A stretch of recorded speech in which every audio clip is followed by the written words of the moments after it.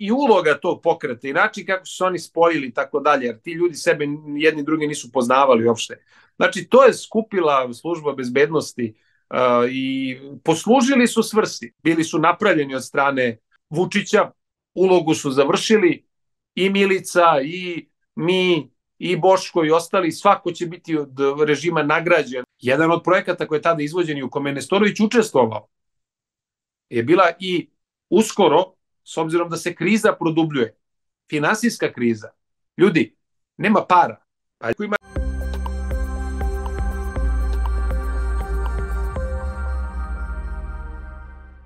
Poštovani dragi gledalci, moje ime je Miloš Živković Profa, a vi gledate još jednu emisiju na kanalu Profa Podcast. Ako to sada niste učinili, kliknite na dugme subscribe da vidite i buduće intervjue. Moj današnji gost, druga emisija po redu, dr. Miroslav Parović, inače Miroslav je doktor tehničkih, tehničkih nauka, elektroinženjer, a, a srpski je političar i predsednik a, predsedništva Narodnog slobodarskog pokreta. Ja ostavljam njegovu Facebook, nje, link do njegovog Facebook profila, tako da ga možete zapratiti. To će biti prvi link dole u opisu videa. Ispod tog linka nalaze se moje društvene mreže, pa zapratite i profu na Facebooku, Instagramu. Miroslave, hvala što si i danas moj gost i dobrodošao. Pozdrav, hvala tebi na, na pozivu i pozdrav za sve pratioce tvog kanala. Hvala puno. Evo, čisto ono za publiku da znaju šta da očekuju u ovom intervjuu. Dakle, pitaću Miroslava šta misli o ovoj uh, skorašnjoj Vučićevoj izjavi uh, kada priča o dubokoj državi i o nekim ljudima, evropljanima koji upravljaju sudbinom ovog regiona. Uh, to onda ćemo dotaći mi, glas iz naroda, šta o tome misli, malo i Putina, pošto Putin priča, kad smo već u dubokoj državi, jel? Putin je nekoliko puta pomenuo tu zlatnu milijardu, pa eto, volio bih da, da to malo razjasnimo.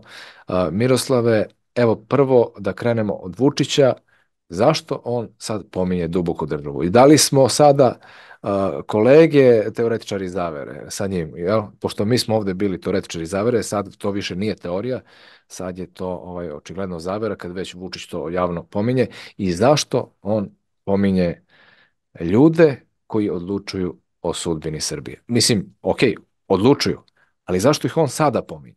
Šta misliš? Pa Vučić je neko ko već neko vreme i to pritom nije ni kratko vreme unazad ne kontroliše sebe.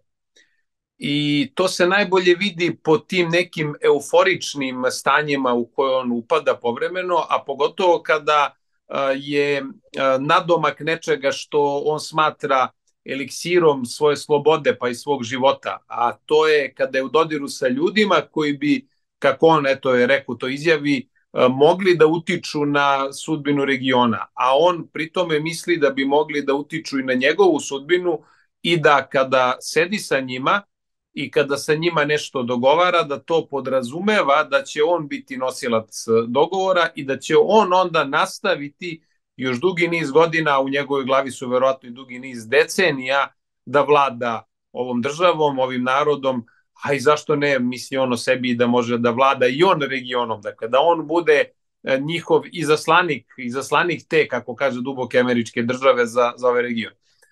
I on nije prvi u, u našoj novijoj istoriji. Isto je to misli Slobodan Milošević kada je sedeo sa Kissingerom i kada je sa Kissingerom dogovarao mnoge procese u raspadu Jugoslavije. Pre toga je bio dobar prijatelj, govorim za, za, za Miloševića, sa jednim od državnih sekretara Sjedinih američkih država, koji je čak bio zadužen i za onaj čuveni projekat Jugo Amerika, ako se sećate. Pa onda isto tako je Slobodan Milošević svoje vremeno sa tom američkom dubokom državom dogovarao da rukovođenje Saveznom republikom Jugoslavijom koja je nastala nakon raspada Socijalističke federativne republike Jugoslavije da rukovođenje preuzme Milan Panić, biznismen iz Amerike koji je specijalno zbog toga došao. Pa je posle toga isto tako dogovorio sa tim predstavnicima te duboke države, a verovo i Milošević da će biti večan na, na, na vlasti, dogovorio i dolazak Dragoslava Avramovića direktno iz Svetske banke da da spašava tada državu Srbiju od hiperinflacije, sećamo se svi tog, tog perioda, pa čuvenog Avramovićevog dinara i tako dalje i tako dalje. Tako da ta fasciniranost um, naših uh, lidera, pogotovo kada upadnu probleme sa tim i takvim ljudima za koje oni smatraju da će im um, obezbediti trajnu vlast je uh, zaista uh, poražavajuća. A što se tiče same činjenice da li duboka država kao takva postoji, pa da, naravno da postoji. Svaka država, uključivši Srbiju, ima nešto što se zove dubina u svom, u svom trajanju, jer vi morate znati da, ili da kažem gledaoci da ne bismo nešto teoretisali u tom smislu teorije zavere, da od momenta kada je, su nastale moderne države u pravom smislu te reči, kada je bila francuska revolucija koja je ukinula monarhiju, koja je do tada bila nosilac suvereniteta i nosilac integriteta i duboka država onog ranijeg perioda, jer ste u aristokratiji koja je pratila monarhiju, tu ste imali uh, po dubini ljude koji su ostajali tu trajno, koji su uh, bili, uh, da kažem, kontinuitet. E, kad je nestao monarh, kad je nestala njegova aristokratija kao takva, onda su birokratije uh, uspostavljene u Francuskoj i posle u svim drugim modernim državama, uključeš i Srbiju, su preuzele to da su one kontinuitet. Dakle, menja se onaj ko je na čelu. Da li kroz načelo predsednika, kancelara i tako dalje, to je manje bitno, ili kroz na kraju čak i koncept ustavne uh, parlamentarne demokratije, kraljevine, pardon, uh, menja se taj ko je čelni, međutim, birokratija ostaje kao neko ko je trajna kategorija. I u Srbiji je birokratija trajna kategorija. Ne menja se cijela birokratija kada se promeni vlast, je tako? Pa duboka država je birokratija. S tim što je negde ta birokratija ima svoj kontinuitet kao u Americi gotovo 300 godina unazad, pa je onda njena dubina značajna. I onda se unutar te birokratije su se napravili kružoci moći. Jedni utiču na vojnu industriju, jedni utiču na financije, neki utiču na nešto treće, na medije i tako dalje i tako dalje. To je ta duboka država.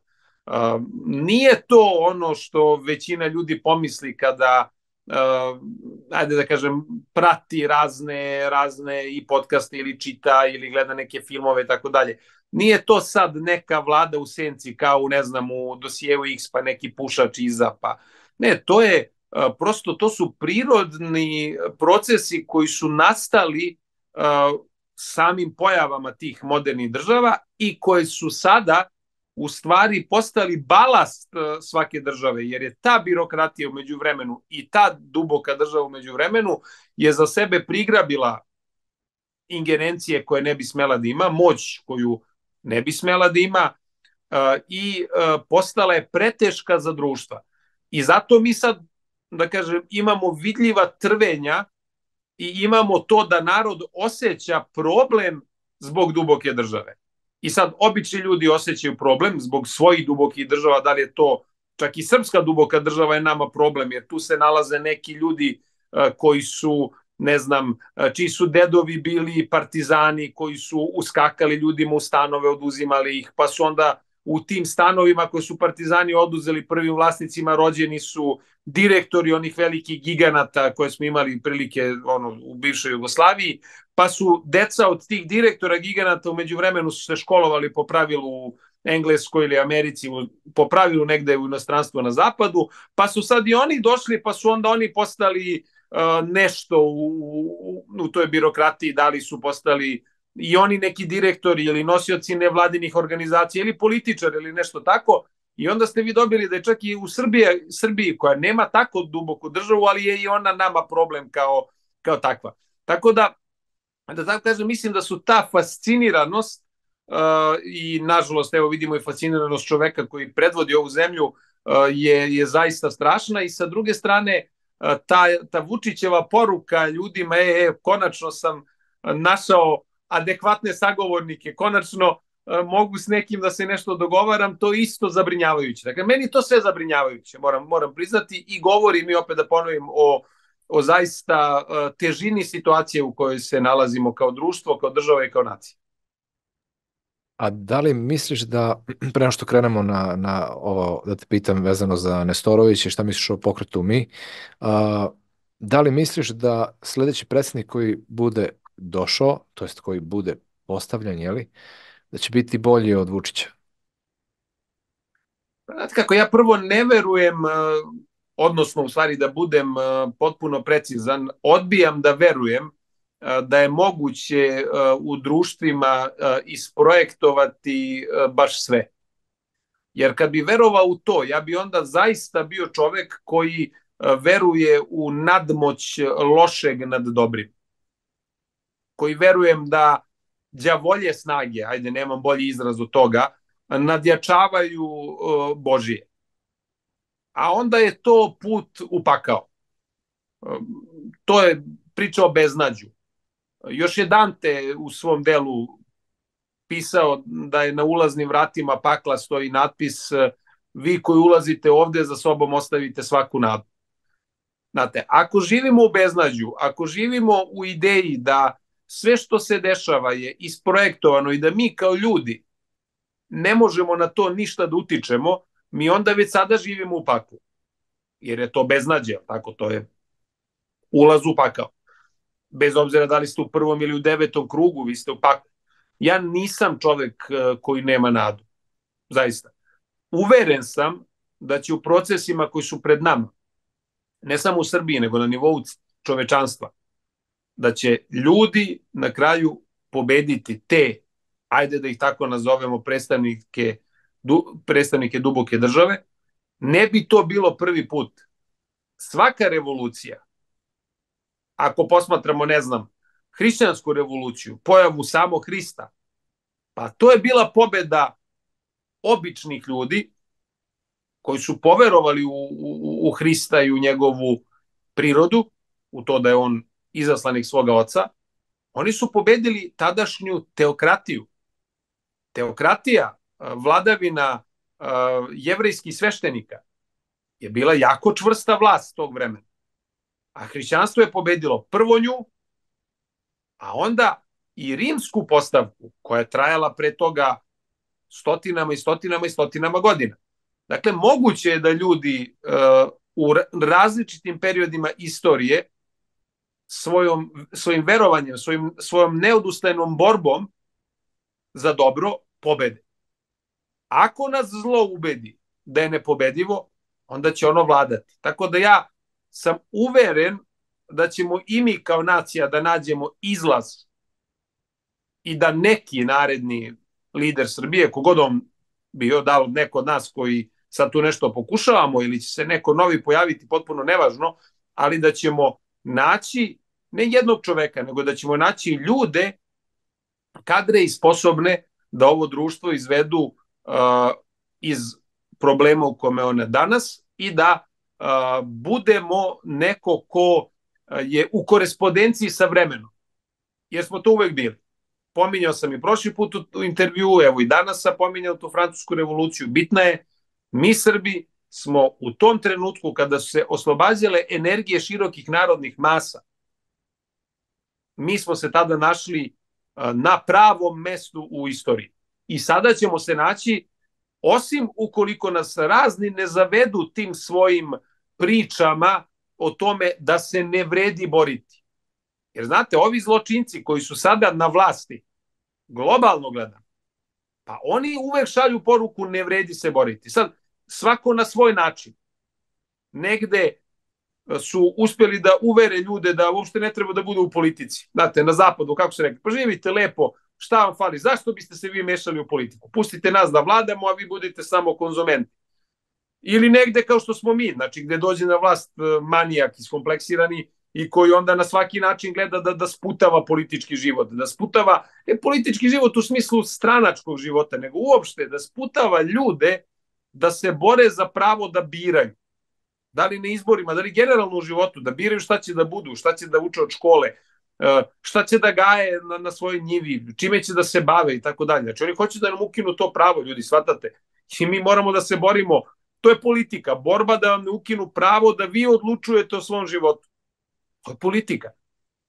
Znate, to što su vas uh, ubedili, dragi moji pratioci i ovog kanala generalno, da je politika nešto ružno i strašno i da se politika svodi samo na strančarenje i ono borbu za glasove, pa to je budalaština. Politika se svodi na, na to da odbranite vaše pravo da imate privatnu imovinu. Znate, jer sutra neko može da vam dođe, da vam preuzme, da izgine uticaja i moći ove zemlji i da vam ukine pravo na privatnu imovinu, da nemate više ništa. Politika je pravo da odlučujete o školovanju svoje dece, da utičete na njihov e, rast, razvoj, odgoj i obrazovanje. To je politika. Nije politika, opet kažem, samo to da li ćete glasati za ovu ili onu stranku. To je, to je na kraju i najmanje bitan deo politike. A mi smo ga ovde podigli na pijedestal zato što, zato što su u politiku, pošto normalni ljudi neće, onda je Vučić, e, do duši pre njega, da ne otužujem samo njega, ali Vučić dominantno, uveo šljam. I rekao, vi nećete dobri ljudi. Vi neki inženjeri, profesori, lekari, čestiti ljudi, poljoprivredni proizvođači, tesari, klesari, vi koji nešto radite, nećete u politiku. Nećete da se bavite državom. Pa sad ću ja da skupim prostitutke, kriminalce, ponavljače, kupce diploma, bandite, narkodilere, ubice.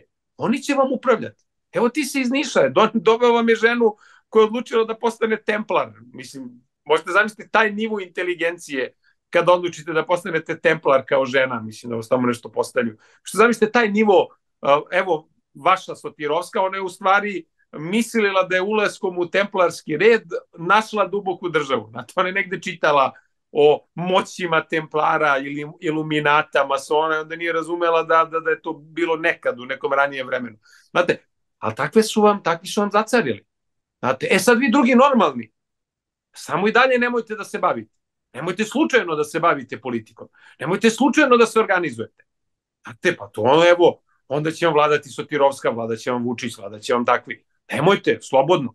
Nemojte se baviti politikom. Znate. To je strašna stvar. Postavit će vam svakako neko nekoga. Znate, sve te priče i vi slučajno se ne uključujete. Nemojte slučajno da date sat vremena svog, svog života. Nemojte da protestujete. Nemojte ništa da radite. Čekajte mirno da vam naprednjaci dođu, ovi današnji, i da vam uzmu vaš stan. Mirno čekajte, jer kad oni budu to došli, neće imati ko ni da vas brani još. A reci mi Miroslav, šta misliš o, o pokretu mi, kako oni stoje sada i eto, i, i, da li je to vredelo uključivati se u, u politiku s njihove strane? Pa mislim da kada smo onda prvi put pričali da sam ja izrazio tada već svoju skepsu i, i sećam se da je bilo i dosta komentara na, na video u tom pravcu i, i nekoliko puta nakon izbora sam ja takođe uh, pokušao ljudima da skrenem pažnju da taj mesijanski koncept koji očekujemo da će sad neko da se pojavi, pa će on svojom mesijanskom crtom da reši sve naše probleme, da to ne prolazi Znate, i e, da e, se to po pravilu završava loše. E sad pride još i uloga tog pokreta i način kako su se oni spojili i tako dalje, jer ti ljudi sebe jedni drugi nisu poznavali uopšte. Znači, to je skupila služba bezbednosti uh, i poslužili su svrsi. Poslužili su svrsi. Svrha je bila da, da se napravi jedno zamešetaljstvo, da se desnica da se ne dozvoli da se tu dese neki normalni procesi i to nije samo grupa mi radila. I zavetnici, i dveri, oni su bili vrlo učesnici jednog procesa koji je kontrolisao Vučić preko, preko službe bezbednosti i dobili smo ovo što smo dobili. Dobili smo da se danas nacionalna opcija u Srbiji, koja je pritom najjača, ne pita apsolutno ništa. Konzervativci u Srbiji se ne pitaju ništa, konzervativci u Srbiji su zarobljeni u mitomaniju i nama se to diktira. Znate, nas nekoliko koji nismo tog profila, mi smo a priori sumnjivi, jer znate, vi sad kad ja počinjem i sve vreme pokušavam da nas navodim na neku racionalnu putanju, znate, mada možemo, naravno da postoje i iracionalne i mogu bih ja na, naširoko da pričam i o ezoteriji u politici i o raznim drugim temama koje su verovatno interesantne za, za, za narod, ali uh, to je stvar koja je za dubinske analize, za dnevnu politiku, vi morate imati racionalan pristup. I opet ću ponoviti, bez racionalizacije konzervativne ideje u Srbiji koja mora da bude u korespondenciji sa vremenom i prostorom u kome smo. A vreme je 21. vek 2024. godina, a prostor je Evropa i prostor je okruženje NATO-om i Evropskom unijom. Dakle, to, tu smo mi. Znači, nalazimo se u 21. veku, 2024. godini i okruženi smo sa, ne, sa nekima sa kojima nismo strateški prijatelji. Na nama je sada da se opredelimo da li ćemo biti strateški neprijatelji sa okruženjem ili ćemo biti njihovi strateški partneri ili ćemo biti neka vrsta neutralne države u takvom okruženju. Ja ću reći svoj stav. Mislim da mi treba da budemo u vojnom smislu apsolutno neutralna država u NATO okruženju, ali da sa druge strane moramo da budemo apsolutno otvoreno društvo i država za dogovore o novim tehnologijama.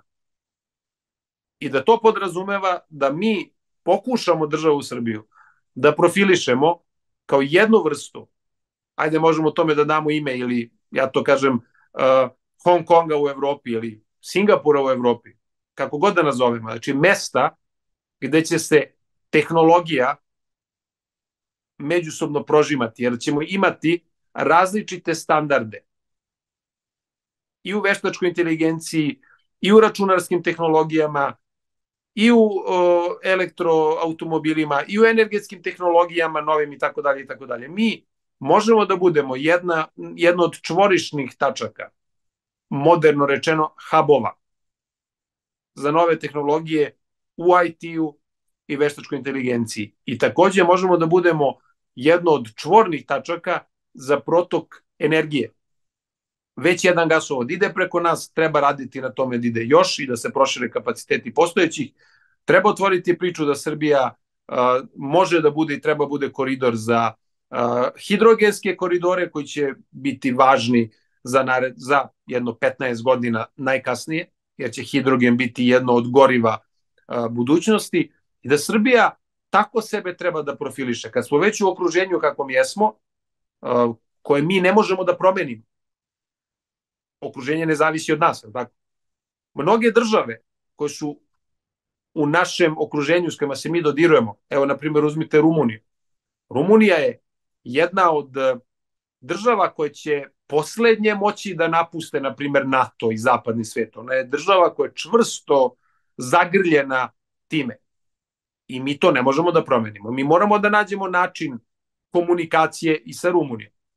I u mnoge druge države, i Hrvatska je u tom položaju, i Crna Gora je u tom položaju, i Makedonija je u tom položaju, i u najvećoj meri i Bugarska. Bugarska je još ostala donekle nedefinisana. Dakle, mi sad sa svim tim moramo da operišemo i da kažemo, dobro, jedno je mi što želimo, drugo ono što realno možemo da, da, da, da uradimo. Ajde da to što realno možemo i uradimo. Znate, e, to je ta racionalizacija. E sad, naravno da ovo sad, s obzirom da sam ja potrošio već pet minuta na objašnjavanje, to je ljudima već dosadno. Mnogo jednostavnije reći, majka Rusija živela, sad ćemo mi kad Rusi izbiju na Dunav, pa odmah dolaze kod nas, pa će nas osloboditi, pa ćemo mi onda da krenemo na zapad, pa ćemo da oslobodimo Knin, pa ćemo da zaokružimo, pa ćemo ovo. To lepše zvuči. Ljudi za to i glasaju, jer to se uh, negde otvori kao eto, što da ne. Jer pre toga vam šalju razne signale koji su nerealni. E, objašnjavaju vam nešto što se nikada neće dogoditi i tako dalje. Ali eto, kažem, e, očekivano je bilo to sve za mir, bili su napravljeni od strane e, Vučića, službe bezbednosti, ulogu su završili i Milica i mi i Boško i ostali, svako će biti od režima nagrađen na neki način za, za, za tu ulogu i dobro, bože moj, e, možda i bolje što se to brzo završilo, što kažem, što se brzo, mada naravno trajaće to, biće, biće tu još raznih tumačenja i tako dalje i tako dalje, ali gore bi bilo da smo dobili situaciju kao sa Šešeljom 90. godina, da je postao među najjačima i da je onda trebalo, eto koliko, decenija jače da, da, da ga ljudi prokljuve i da ga sad gledamo ovako kako ga gledamo. Dakle, možda jedina sreća u cijeloj nesreći što se to brzo sada kao na traci dešava. Što opet govori o, o kriznom momentu. O kriznom momentu i o tome da treba da, da, da razmišljamo opet na jedan racionalniji način i kako ćemo da se mi, makar ovaj konzervativni deo koji je većinski u Srbiji, da se reorganizujemo i da postanemo faktor odlučivanja. U suprotnom bit ćemo objekti umesto subjekti istorije i bit ćemo monete za podkusurivanje. Dakle, već sada nacionalnu konzervativnu Srbiju niko ne doživljava ozbiljno. Iako je po svim istraživanjima više od dve trećine Srbije upravo tog opredeljenja. Tako da ljudi, ajde razmišljajte, da razmišljamo zajedno šta da radimo. A, Miroslave, reci mi, ok, uh, rekao si šta misliš o, o, o grupi mi, a, a Nestorović, on je, svi će se složiti ljudi, zato ga i mnogo vole, zato i ima tolike preglede kad god ovaj, gostuje negde. Ovaj, uh, da je dosta doprineo da se ljudi probude za vreme onih mera, zabrane kretanja, stavljanja maski i tako dalje. On je dosta doprineo da se probude ljudi i da shvate da je to jedna agenda. Ovaj, to mu ne sporimo, je li tako? Pa u jednom delu. U jednom delu, uh, mada pazite, uh, najbolje stvari vi vidite i ponašanje ljudi u kriznim momentima ključni krizni, krizni moment uh, u koroni vezano za Srbiju je uh, bio 7. jul 2020. godine. Uh, tog 7. jula 2020. godine, podsjetit ću tvoje gledalce, nas desetine hiljada smo izašli na ulice Beograda. To su bile demonstracije koje su dovele režim prvi put do ivice uh, opstanka. Te demonstracije je režim razbio korišćenjem nikad većih policijskih snaga. Izvođena je bila konjica na nas, bacan je suzavac na nas, tučeni smo pendrecima, izvođena su, izvođena su borna vozila, hameri i oklopna vozila u Beograd. Dakle, ne samo jedinice policije, nego jedinice žandarmerije. Dakle, to je bio viši nivo od samo policijske intervencije. Takođe, izvedene su sve tada raspoležive falange ubica Aleksandra Vučića. Od Veljka Belivuka koji je tada bio udarna pesnica Vučićevog režima, a koji je već u tom momentu krenuo da melje ljude po, po Ritopeku. Dakle, to je period kad on je to jutro možda nekog samleo, a došao onda popodne da rasteruje demonstrante iz, iz Beograda. Ova braća Hoffman takođe su bila tamo i tako. Sve, sve ubice svi kriminalci i sva policija je bila angažovana da tad to veče 7. jula uguši proteste. Doktor Nestorović to veče nije bio sa nama. Doktor Nestorović taj dan i tih dana nije uputio ni rečenicu, ni slovo da da podršku ili da osudi brutalnost. Ništa. On je nastavio da bude u kriznom štabu uh, i nadalje. I na kraju za sve to od strane Vučića nagrađen ordenom taj deo što je on e, relativizovao ono kroz priču e, najsmešniji virus i tako dalje i tako dalje. Pa vi da ste gledali tada, nego svakoj gledao svoju muku. U svakoj državi ste imali po nekog lekara koji je i to pričao. I pojavljivo su u medijima. Pa to je upravo bila jedna agenda da se, da kaže, s jedne strane zatežete, pa onda negdje imate mali ispusni ventil i tako dalje i tako dalje. Jer sve ono što je Nestorović dalje radio, nažalost, nije upućivalo ka tome da je on neki veliki protivnik neke te, neke te agende. Jer da jeste, pa na kraju zamislite eto da se Nestorović taj dan pridružio narodu tog 7. jula 2020. godine, da je izašao na društvene mreže ili YouTube ili, ili negde i da je rekao ovi ljudi su pravu. Pa ja verujem da bi demonstracije dobile na zamajcu. I ja verujem da bi bilo mnogo ozbiljnije nego što je na kraju nego što je na kraju ispalo. Tako da, a moram reći, pazite, e, čak i uprkos tim, tih saznanja, ja sam pozivao doktora Nestorovića javno da se kandiduje za predsednika 2022. godine. Možete naći moje tekstove i moje izjave iz tog perioda. E, moja, moje razmišljanje je bilo, čini mi se ispravno, da je e, Nestorović učestvovao na tim izborima kao predsednički kandidat. Ti izbori bi dobili sigurni drugi krug. Da je iz Srbija 2022. dobila drugi krug na predsjedničkim izborima, mnogo bi drugačije stanje bilo. Mnogo. Nestorović nije izašao na te izbore. Kome je odgovaralo da ne izađe na te izbore? Ajde da pogađamo dva puta. Onome ko je pobedio u prvom krugu. Tako da, moje razočarenje je tada bilo. To je bio moj test. Ja sam njeg, čak našao njegov broj telefona i slao mu poruke u smislu profesore, zaista mislim da bi bilo dobro zbog Srbije, zbog demokratije, zbog svega da se vi kandidujete, jer bi to bila zaista tada tektonska, tektonska promena na, na, na političkoj sceni. Vidimo kako je završilo. Znate, ljude uvek treba proveravati na delima.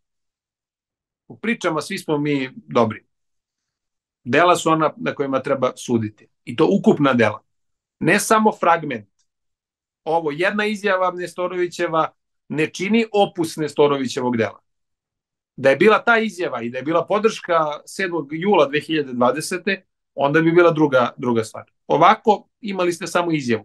Pa na kraju, ako ćemo iskreno, pa Vučić je davo mnogo oštrije izjave protiv korone u nekom periodu, pa onda potpuno izjave za koronu, pa onda posle toga opet e, protiv. Dakle, mislim, onda biste, ako biste tumačili po izjavama ili delovima izjava, pa onda je Vučić bio sve. Mislim, onda je Vučić naj, najveći protivnik globalizma u istoriji čovečanstva. Kao što je ujedno i najveći pobornik globalizma u istoriji čovečanstva. Prosto nemojte suditi po ljudima na ono što oni pričaju i to pogotovo ako priče i dela nisu u korespondenciji.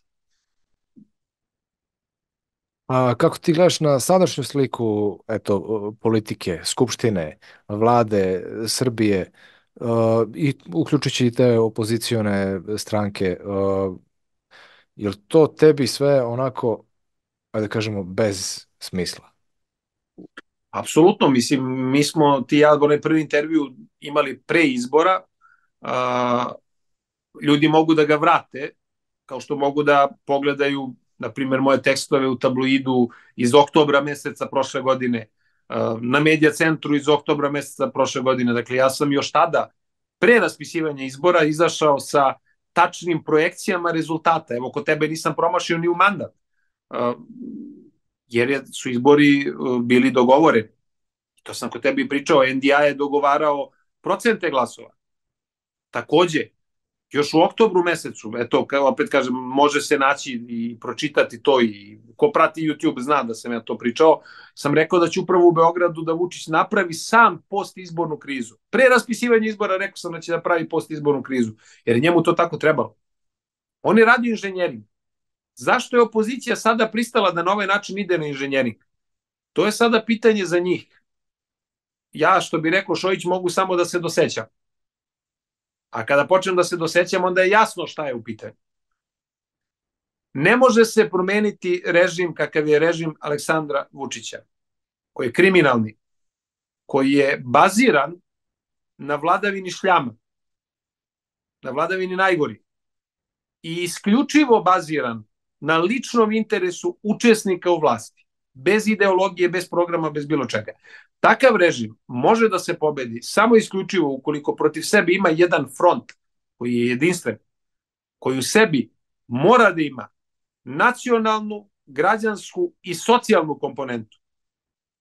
Samo kada to budemo postigli, onda ćemo imati motivisane ljude da se do kraja bore protiv onoga što nas je zadesilo kad sam već puno puta spominjao taj 7. jul 2020. godine, koji će svakako biti istorijski datum kada se ovo sve bude zvalo lani, jer će to biti dokaz da se mi kao nacija nismo mirili sa režimom Aleksandra Vučića i sa njegovim projektima koje je nad nama izvodio. Jedan od projekata koji je tada izvođen i u kome Nestorović učestvovao je bila i testiranje najmanje jedne vakcine na nama. Konkretno je bilo pitanje kineske vakcine. Takođe, Vučić je za pare od Amerikanaca i za podršku bio jedan od prvih koji je u Evropi dozvolio primenu i dao dozvolu za primenu njihove vakcine, ove bazirane na onoj novoj tehnologiji koju su oni, oni, oni promovisali. To je tada ubrzalo da je i Evropska unija morala da prihvati nekoliko dana posle nas. Ali mi smo bili zamorčići Vučića i kriznog štaba tada. E sad, narod se nije pomirio s time, to je značajno reći, 7. juli je bio značajan događaj, da ga ponovim ponovo, i u tom 7. julu ste mogli takođe da vidite nacionalnu, socijalnu i građansku komponentu, jer je to bila pobuna upravo tako. I kad su bile sve tri odjedno, to je pravilo zapaljivu atmosferu, zapaljivi gas. Malo je falilo. Da nije bilo tada ubačenih udbinih elemenata da razvuku, razvodne, naprave gluposti, Vučić bi tada pao. Bez obzira što je na nas izveo, ponovit ću, svu policiju, sve ubice i sve kriminalce koje je imao na raspolaganju. Ipak bi pao. E dakle, nama to treba. Jedinstven front, probuđeni ljudi, onaj normalan deo stanovništva, koji je svestan da ukoliko se ne budu organizovali, pobunili i išli do kraja, da će se vladavim šljama nastaviti i da niko neće biti pošteđen. Već sada niko nije pošteđen, ali neko to osjeća više, neko to osjeća manje. Uskoro, s obzirom da se kriza produbljuje, finansijska kriza, ljudi, nema para. Naprednjački ološ je navikao na skup život. Njima pare trebaju. Većina ljudi koje vas predvode danas, dragi moji građani, su kokainski zavisnici. Njihov jedan dan samo na kokainu košta par stotina evra. I oni to moraju da obezbede. Da ste toga svesni. Kada ne budu više imali da čerupaju od budžeta, a već nema, čerupaće od vas. Ti narkomani, taj ološ će vam otimati stvari iz kuće. Ne karikiram, zaista. Čak se ni ne trudim da budem karikaturalan. To će vam raditi.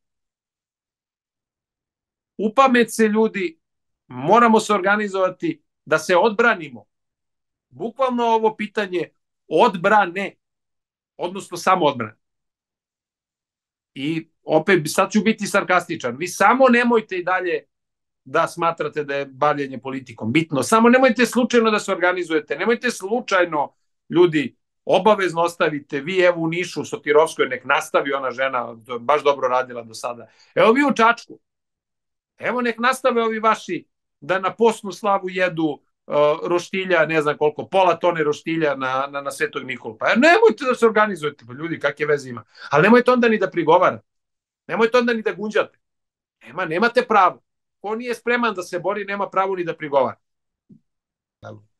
Korona imala svoj realni deo i svoju političku zloupotrebu. Mislim, to je, to bila su dva dela. Uh, u političkoj zloupotrebi oni koji su učestvovali podjednaki su bili oni koji su kao bili za i protiv, jer uh, da bi postojao privid pluralizma, vi ste morali da imate obe kontrolisane grupe, i one koji su gurali jednu temu i one koji su gurali drugu temu. Da, da, da. Kada se desio nekontrolisan izlazak uh, ljudi, a to je bio 7. jul 2020. I ovi prvi koji su bili kontrolisano za i oni koji su bili kontrolisano protiv. Znači, i Kon i Tiodorović i Nestorović i ovaj, e, sad si ga ostali. Niko nije bio. Znači, ovi nisu bili na ulici. Nije baš šta. Nikad nije pričao protiv Vučića. Nikad, nikad.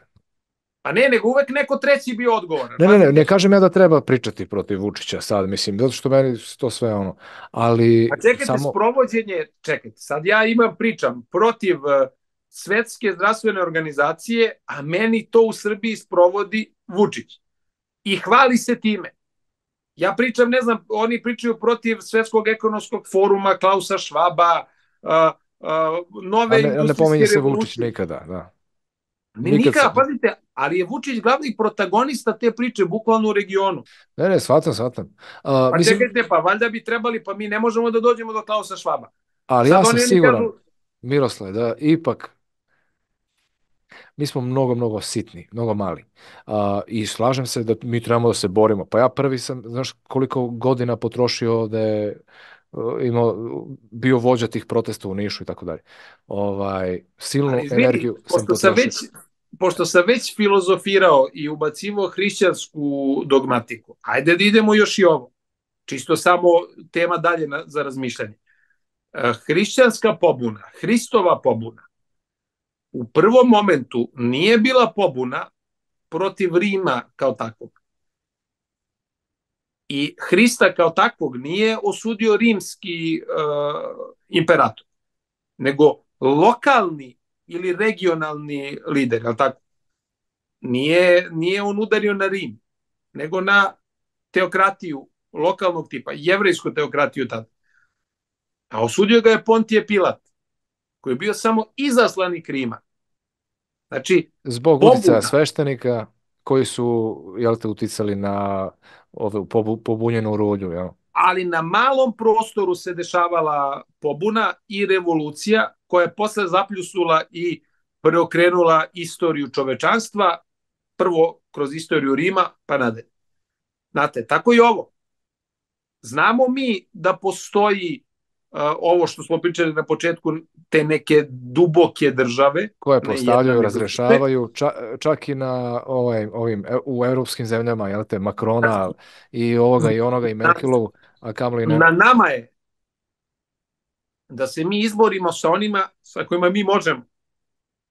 Za nas je glavni predstavnik tih takvih dubokih država, Vučić.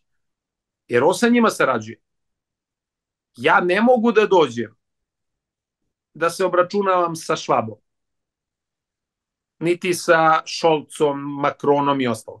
Mogu da iznesem svoj stav o njima. I mogu da uh, pričam onome što se iz njihove politike odnosi na nas. Ali ja ne utičem, nemam nikakav mehanizam uticaja na njih. I svako moje lajanje na njih je tako, vikanje u vetar. Ali protiv Vučića mogu. A on je njihov deo. I on se hvali kako je našo ljudi iz duboke države koji utiču na region. Dakle, sa njime možemo i moramo da se obračunamo.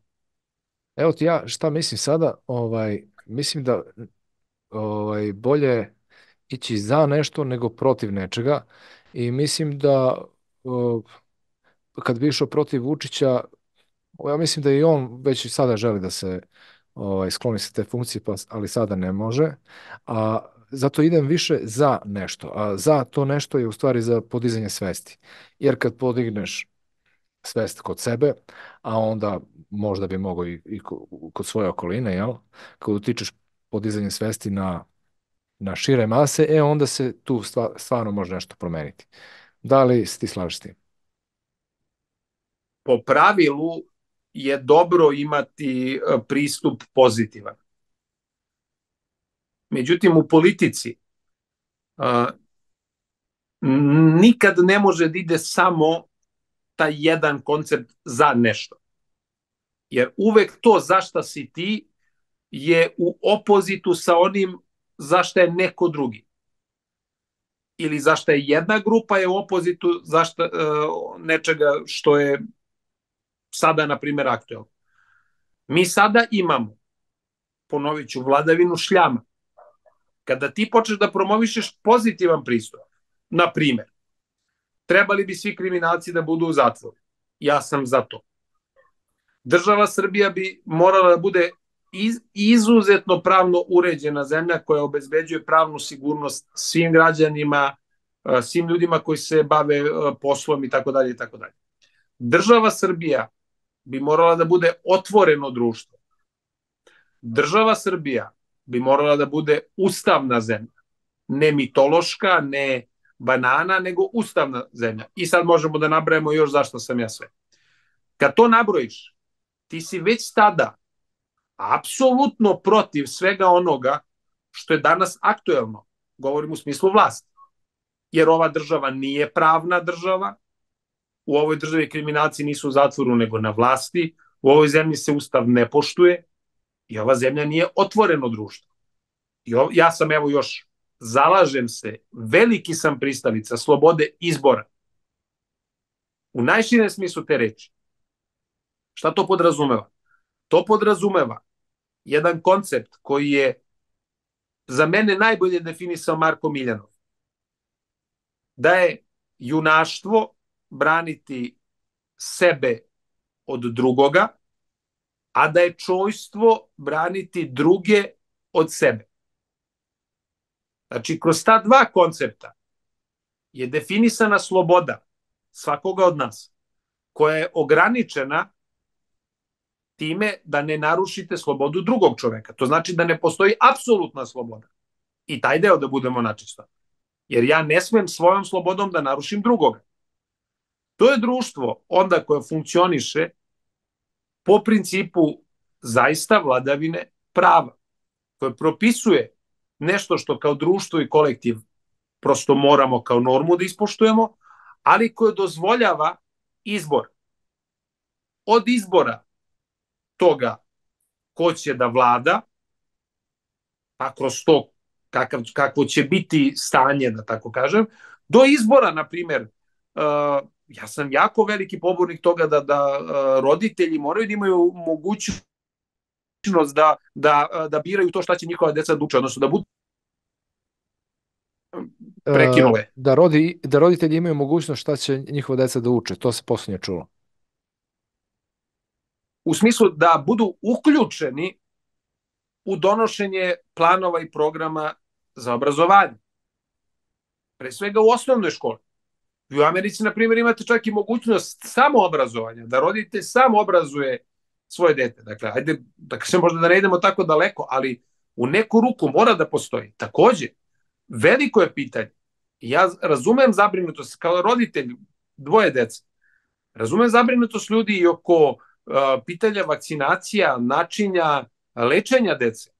Naravno, mi kao laici ne možemo da znamo ono što znaju ljudi koji su završili škole, ali mora da bude mnogo transparentnije i mnogo, da tako kažem, prijemčivije ljudima i da onda se odluke i da, da ta sloboda, da tako kažem, bude uh, delotvornija i da bude uh, pristupačnija ljudima. Možda sam sad malo rogobatno to rekao, ali bukvalno da mi tu našu slobodu imamo u rukama uz ograničenja, ponavljam, da ne radimo drugima što ne bismo da drugi rade nama. Isto tako, jako je bitna debata, pogotovo u vreme koje dolazi. To vezano za posjedovanje oružja. Pokazuje se, pazite, statistika pokazuje da države koje imaju liberalan stav prema naoružavanju, imaju manju stopu kriminala od države koja nema liberalan stav prema naoružavanju. Jer stvar je jasna. Kriminalac kakav god da je zakon u, u toj zemlji, on će do oružja doći. Česti čovek poštuje zakon i nije naoružan. Kriminalac naoružan, ti nezaštićen. I tu je već problem. Je li tako? Znate, mi sad brojne teme možemo da otvorimo. Takođe, tema prehrambene bezbednosti. Šta jedemo? Da li mi znamo uopšte šta jedemo? Evo ja postavljam pitanje svima vama. Jel znate? GMO. Jer Naša, naše poverenje je da kada odemo u supermarket i uzmemo neki proizvod, da je u njemu uh, nešto što nama ne škodi. Iz čega proizilazi to uverenje? Proizilazi iz poverenja u nekakvu državu. Da li vi imate poverenje u ovu državu na način na koji je vođena danas? Ja nemam. Da li ja, nemam, imamo poverenja ni, ni u jednu državu. To je ono što sam ih hteo da te pitam za Putina, ali završio. Ako smo došli da nemamo poverenja ni u šta, onda dolazimo u beznađe, da se vratimo ono pitanje pakla. Pa kad već nemamo poverenja ni u šta, pa moramo da se izborimo za to da imamo mogućnost uvida, da imamo mogućnost da utičemo na to. To znači da nam trebaju institucije koje mi plaćamo iz naše proizvodnje, iz našeg budžeta i da onda smo sigurni u razne stvari. Sad vi kad bismo krenuli da slažemo na dnevnom nivou šta to mi sve radimo kao ljudi, prosto u, u sva, životnim uh, uslovima, a da nismo ni svesni da možda radimo na korist sobstvene štete. Od toga šta jedemo, šta gledamo, šta pijemo, šta nam deca uče u školi i tako dalje i tako dalje. Da bi bili gospodari svoje sudbine, mi se moramo time baviti. Bavljenje time podrazumeva bavljenje politikom. Znate, zapadna društva još uvek imaju, s obzirom da imaju naslage od nekog ranijeg perioda, ipak ogroman broj ljudi koji se bore za svoja prava. Sad mi možemo reći, uh, pa nije to toliko uspešno, ali i nije to baš da nije. U mnogim zemljama je to vrlo uspešno. Evo, na primjer, uzmite Nemačku. Nemačka. I evo je tema nadzor saobraćaja, nadzor stanovništva kroz kamere. Ne smete da postavite kameru koja na, u bilo kom uglu može da zahvati uh, komšiju ili, ili, ili nekog drugoga. Ni država, ni vi nemate pravo na, na to. Zabranjene kamere sa prepoznavanjem lica. Nema. Znači, ljudi su se izborili za to tamo. Mi sada prisustujemo, evo, cela Evropa poljoprivrednici protestuju. Cela Evropa. Dakle, imate žive ljude. Ljudi se bore. Sad, što se oni bore možda za neke stvari koje mi ne prihvatamo. Na su rekli, mi se borimo za slobodu ljudi da budu i homoseksualci. Mi to sa svojom civilizacijskom potkom ne razumemo, ne podržavamo. I u redu, mi imamo pravo na to. Da ne razumemo i da ne podržavamo. Ali oni se iskreno bore za to. I društva se bore i trude. Neke stvari su, opet kažem, možda nisu na korist, ali postoje mehanizmi. Postoje mehanizmi kakvi takvi. Mi nemamo nikakve. Nikakve. Kao društvo i kao nacija. Nikakve. Mi sedimo i onda, znate kako, onda se ponašamo autistično. I onda počinjemo da želimo da sve ode u dođavola i da sve propadne, pa da makar svi budu na istom nivou, da svi propadne. Kolektivno gledano i ukupno gledano. A neće sve propasti. Znate, evo ja sad skoro bio s porodicom u, u, u Istanbulu. Znate, ta Azija živi. Vi šetate ulicama Istanbula, ta, ta mlad svet. Mladi ljudi trguju, prodaju, rade nešto, trče vamo, tamo, nasmejani, pozitivno. Druga atmosfera. Druga atmosfera, potpuno. Vidite da život tamo buja. Mi nezadovoljni, mrzovoljni, apatični, bezvoljni, bezidejni. Oni se bore. Puno dece, puno svega, mlad svet. Šta mislite šta će bude za 50 godina? Njih će biti 150 miliona, nas će biti 5 miliona. po prirodi stvari oni će se vratiti ukoliko se nešto ne, ne, ne promeni. Ukoliko mi nešto ne promeni, to vam je priroda. Znate, sad je na nama. Znate, ta borba je na nama. I takođe da budemo deo civilizacijske borbe. Jer znate, u svim narodima su krenuli pokreti uh, borbe za slobodu. U svim. I to će biti jedan sveopšti pokret. I taj pokret će na kraju pobediti. Jer dobro i plemenite namene, namere uvek pobeđuju. Na kraju, a što bi rekao sveti vladika Nikolaj, na kraju uvek dobro, a ako nije dobro, to samo znači da još uvek nije kraj. Sviđa mi se ovo poslednje i ovaj, evo, za kraj, ako može još ovo samo, uh, što sam već pomenuo na početku, da ću te pitati vezano za Putina, šta misliš zašto on u bilo kom kontekstu da to pominje, ali zašto? Jer sigurno da postoji razlog da on pomene, pomene zlatnu milijardu. Zašto on to radi već po, ne znam, peti put? Pa znate kako, uh, Rusija, a i sam Putin imajući u vidu odakle on dolazi. Putin dolazi iz KGB-a. A KGB u Rusiji je nastavljač uh, njihove ohrane. To je bila njihova tajna organizacija, odnosno tajna policija, služba koja je bila u carskoj Rusiji i onda to seže tamo daleko.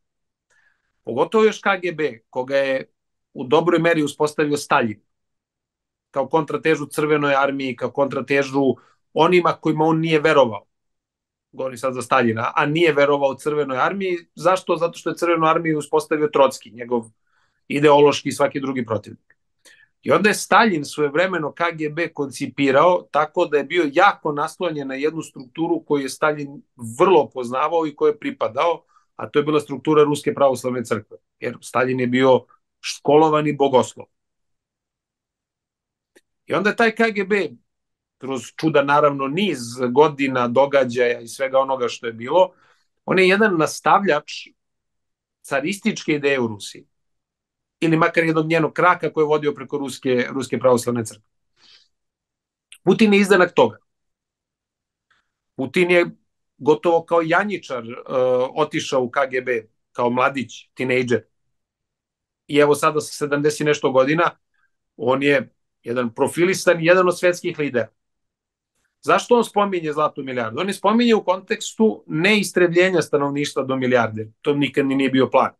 Nego je uvek plan Zapada bio, pošto otprilike postoji milijardu ljudi koji žive na Zapadu, onome što se smatra političkim Zapadom, da oni treba da budu u blagostanju, a da svi drugi treba da budu u službi njihovog blagostanja. To je ideja zlatne milijarde. Da Amerika, Evropa, i još par tih država koji pripadaju političkom zapadu. Jer političkom zapadu pripada i Japan koji je na istoku. I Australija i tako. Znači, to je kad saberete oko milijarda stanovništva, oni treba da budu u dobrom, svi mi drugi treba da budemo njihove sluge. To je neofeudalni koncept. To je koncept uh, jedne vrste kontrarevolucije u odnosu na u odnosu na, na francusku revoluciju. Jer oni kažu, evo ga ta zlata milijarda, samo kod nas mogu da budu tehnologije, samo kod nas može da bude razvoj, samo kod nas može da bude vrhunsko obrazovanje. Kod vas će da budu sirovine, koje ćete vi nama davati za male pare i vi ćete biti jeftina radna snaga. Mi ćemo vama izvoziti pare koje štampamo, i za pare koje mi štampamo uzimat ćemo vaše vrednosti i uzimat ćemo vaš rad i mi ćemo u tome uživati. To je plan zlatne milijarde. Putin i njegova struktura, koja je pritom ozbiljna, reću, i u ezoterijskom i u svakom drugom smislu. Često kod tebe gostuje i na drugim Velja Abramović. Znate, u sve stvari koje on govori onako na jedan čudan način, ali razne priče o političkoj ezoteriji su vrlo tačne vrlo tačno. Istorijski potvrđeno, nema tu da, da bude... Uh, ima i toga, ima Rusa i u tome. Tog KGB-a i toga ima i u tome. Uh, pa sad, kad sve to saberete, ja mislim da je Putin tim porukama rekao da ne može da bude uh, vladavina te zlatne milijarde. E sad, da li oni pregovaraju samo u smislu da se i oni uključe u taj broj pa da bude milijardu i sto ili je priča šira, to je da je priča da se uh, uspostavi ponovo svet koji je solidaran, svet u kome ipak 8 milijardi stanovnika živi ljudski dostojanstveno, to je sad pitanje koje ćemo videti. Ali mislim da je jako važno što je neko izašao tog ranga i rekao ne slažemo se, tražimo novu, tražimo novu raspodelu. I ako me pitaš i pretpostavljam da, da možda je to tvoje mišljenje, da li ja mislim da je i Putin deo te neke globalne agende, mislim da nije. Mislim da nije. Imate nekoliko centara u svetu, Rusija, Moskva je jedan od centara utice u svetu i to nije od juče. Znači, Moskva je centar utice u svetu vekovima unazad. I prošlo je mnogo toga, razne vlasti su bile, razni ljudi su bili, koji loši, koji bolji, koji uspešni, koji manje uspešni, ali Moskva je ostala u statusu uh, mesta u kome se odlučuje globalno. Vašington je takođe to. London je takođe to. U poslednje vreme i Peking, ne u poslednje vreme, Peking je uvek imao svoju, ali u poslednje vreme postao i globalni igrač. To je to. To vam je mesto, odnosno to su vam mesta u svetu uh, gde kada se nešto dogodi, to može da uzdrma svaku tačku na planeti. Znači, Washington, uh, London, Peking, Moskva. Donekle Brisel, zato što u Briselu postoje nešto i od Vašingtona i nešto od Pariza i, i, i, i Berlina, ali uglavnom to je ovo. E sada, da li će se pridodati još jedan islamski centar? To je sad isto jedno veliko pitanje. Ja mislim da bi bilo pošteno, imajući vidu koliko ima muslimana i njihovog doprinosa civilizaciji, da postoji još jedna tačka u svetu koja će imati planetarni značaj. A to bi bila ta tačka, da li je to Teheran, da li je to Ankara, da li je to, to će vjerojatno biti borba unutar njihovih redova. Ali što se tiče ovoga, ovo je, ovo je tako i uspostavljeno je i dobro je da, da je Rusija i Kremlji i Putin da su oni e, pokrenuli jedan proces koji je već sada značajno promenio tok uh, istorije. I da ta zlatna milijarda koju pominješ više nema u svojim rukama 100% akcija. Neke 96. godine, ajde da uzmemo tu godinu, 100% akcija je bilo kod njih.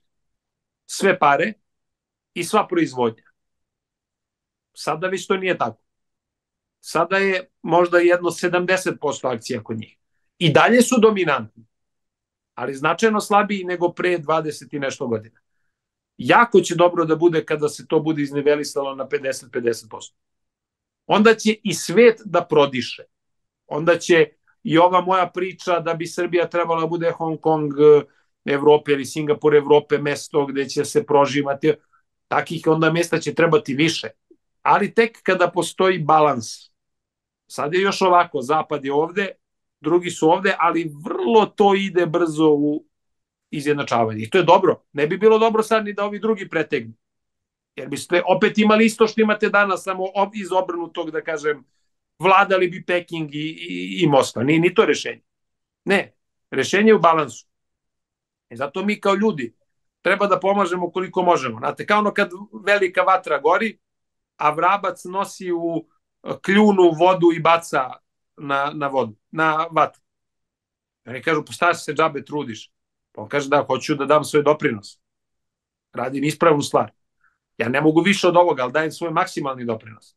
To i mi, kao neki vravci, treba da, da gasimo požare ili, ili da pomažemo dobrim procesima. To možemo da uradimo. A na kraju kao nacija smo pokazali da iako smo tako mali, malobrojni i ostalo, da možemo značajno više da utičemo na svetske događaje nego li što bi to na prvi pogled se dalo reći. Miroslave, hvala puno na tom izdvojenom vremenu na ovom gostovanju i na svim informacijama koje si dao. Hvala i svim gledalcima koji su ostali sa nama do samog kraja. Evo, još jednom da napomenem, imate Miroslavov Facebook um, profil, to jest link do Facebook profila, ostavit ću ga prvi dole u opisu, pa zapratite Miroslava, zapratite i profu, uh, Instagram, Facebook i ostale mreže bit će uh, dole ispod. Miroslave, još jednom hvala, sve najbolje svima. Hvala i tebi i svako dobro. Svako dobro.